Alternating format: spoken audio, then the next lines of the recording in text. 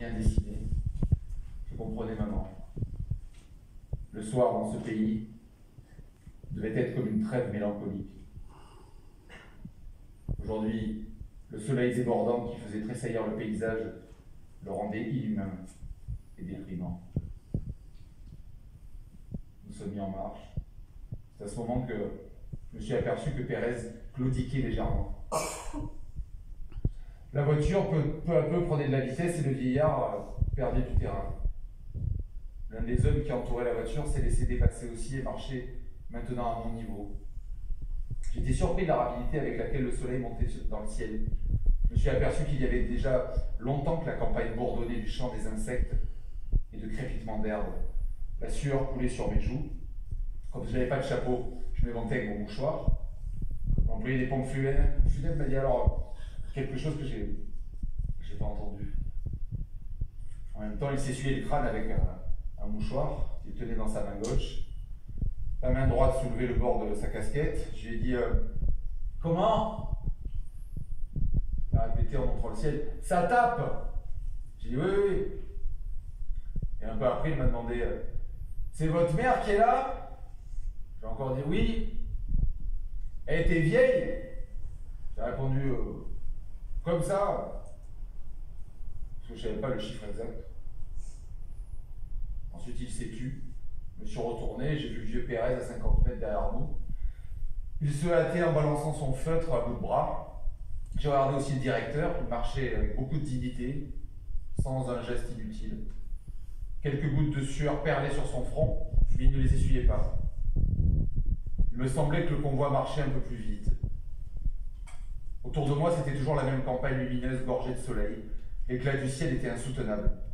Et à un moment donné, nous sommes passés sur une partie de la route qui avait été récemment refaite. Le soleil avait fait éclater le goudron.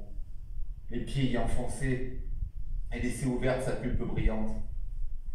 Au-dessus de la voiture, le chapeau du cocher en cuir bouilli semblait avoir été pétri dans une boue noire. J'étais un peu perdu entre le ciel bleu et blanc et la monotonie de ses couleurs, noir gluant du goudron ouvert, noir terne des habits, noir laqué de la voiture. Tout cela, le soleil, l'odeur de cuir et de crottin de la voiture, celle du vernis, celle de l'encens, la fatigue d'une nuit d'insomnie me troublaient le regard et les idées. Je me suis retourné une dernière fois de plus. Pérez m'a paru très loin, perdu dans une nuée de chaleur. Je n'ai plus aperçu. J'ai cherché du regard, j'ai vu qu'il avait quitté la route et pris à travers champ. J'ai constaté aussi que devant moi, la route tournait j'ai compris que Pérez connaissait le pays, coupé au plus court pour nous rattraper. Au tournant, il nous avait rejoints et nous l'avons perdu. Il a requis, repris encore à travers champs, et comme cela plusieurs fois. Moi, je sentais le sang qui me battait au temple. Tout s'est passé ensuite avec tant de précision, de certitude et naturelle que je ne me souviens plus de rien. Une chose seulement, à l'entrée du village, l'infirmière déléguée m'a parlé, elle avait une voix singulière qui n'allait pas avec son visage, une voix mélodieuse et tremblante. Elle m'a dit, si on va doucement, on risque une insolation. Mais si on va trop vite, on est en transpiration. Et dans l'église, on attrape un chaud et froid. Elle avait raison. Il n'y a pas d'issue.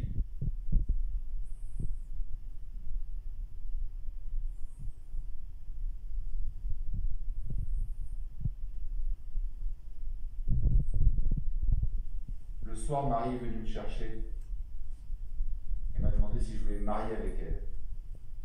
Je lui ai dit que cela m'était égal et que nous pourrions le faire si elle le voulait.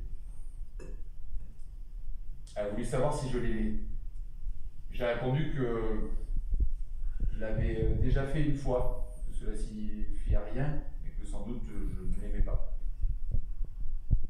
Pourquoi m'épouser alors a-t-elle dit? J'ai expliqué que cela n'avait aucune importance et que si elle le désirait, nous pouvions nous marier. D'ailleurs, c'était elle qui le demandait, moi je me contentais de dire oui. Elle a observé alors que le mariage était une chose grave. J'ai répondu non. Et elle s'est tue un moment. Elle m'a regardé en silence, puis elle a, a parlé. Elle voulait simplement savoir si j'aurais accepté la même proposition venant d'une autre femme à qui je serais attaché de la même façon. J'ai dit naturellement. Elle s'est demandé alors si elle m'aimait. Et moi, je ne pouvais rien savoir sur ce point. Après un autre moment de silence, elle a murmuré que j'étais bizarre. Qu'elle m'aimait sans doute à cause de cela, mais que peut-être un jour, je la dégoûterais pour les mêmes raisons. je me taisais, mais il n'y a rien à rajouter, elle a pris le bras, en souriant, et elle a déclaré qu'elle voulait se marier avec moi. J'ai répondu que nous le ferions dès qu'elle le voudrait. Je lui ai parlé alors de la proposition du patron, et Marie m'a dit qu'elle aimerait connaître Paris. Je lui ai appris que j'avais vécu dans un temps. Elle m'a demandé comment c'était? Je lui ai répondu c'est sale.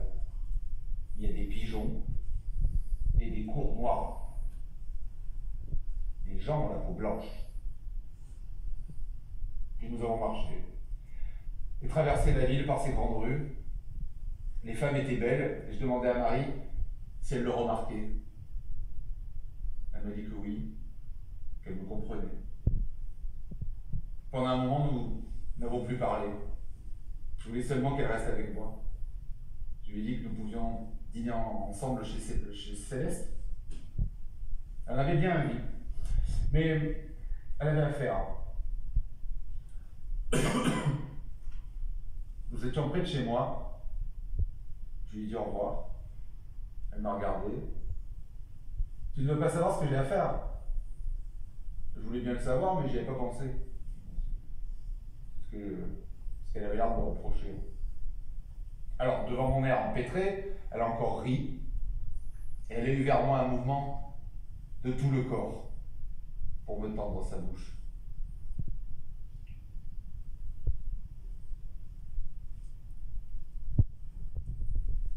Le dimanche, j'ai eu de la peine à me réveiller. Il a fallu que Marie m'appelle et me secoue n'avons pas mangé parce que nous voulions nous baigner tôt.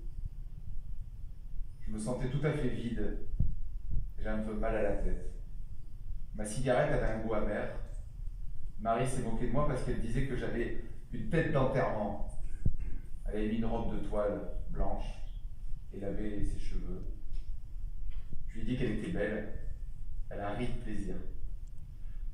En descendant, nous avons frappé à la porte de Raymond. Il nous a répondu qu'il descendait dans la rue à cause de ma fatigue et aussi parce que nous n'avions pas ouvert les persiennes. Le jour déjà tout plein de soleil m'a frappé comme une gifle. Marie sautait de joie, n'arrêtait pas de me dire qu'il faisait beau. Je me senti mieux.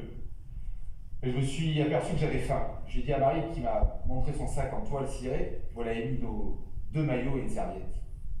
Je n'avais plus qu'à attendre. Nous avons entendu Raymond fermer sa porte. Il avait un pantalon bleu et une chemise blanche à manches courtes. Mais il avait mis un canotier, ce qui a fait rire Marie. Et ses avant-bras étaient très blancs, sous les poils noirs. J'en étais un peu dégoûté. Il sifflait en descendant, il avait l'air content. Il m'a dit Salut vieux Il a appelé Marie Mademoiselle. La veille, nous étions allés au commissariat. Et j'avais témoigné que la fille avait manqué à Raymond. Il en avait été quitte pour un avertissement. On n'a pas contrôlé mon affirmation. Devant la porte, nous en avons parlé avec Raymond. Et nous avons décidé de prendre l'autobus. La plage n'était pas très loin. Mais nous aurions plus vite ainsi. Raymond pensait que mon ami serait content de nous voir arriver tôt. Nous allions partir quand Raymond tout d'un coup m'a fait signe de regarder en face.